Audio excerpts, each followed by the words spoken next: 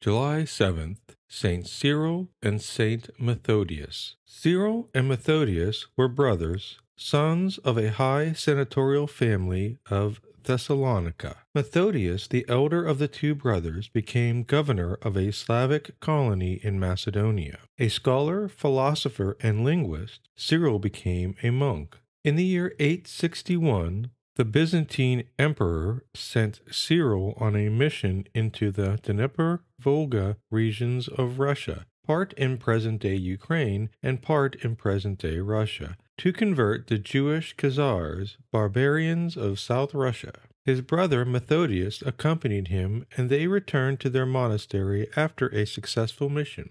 At about the same time, the Prince of Moravia, which is present day Czechia, asked the emperor to send missionaries to convert his people. Since both brothers knew the Slavonic tongue, Emperor Michael III sent Cyril and Methodius there in the year 863. They taught the Moravians how to write, and they composed a new alphabet for them called the Glagolitic alphabet, which marked the beginning of Slavonic literature. The Cyrillic alphabet, named after St. Cyril, was based on the Glagolitic alphabet and is still used among the Russians. That is why Saints Cyril and Methodius Day is also known as Alphabet Day. Then the brothers translated the Bible and liturgical books and organized numerous Catholic communities in Bohemia and Hungary. In the year 868, they arrived in Rome and were warmly received by Pope Adrian II, who made them bishops and allowed them to say the Mass in Slavonic.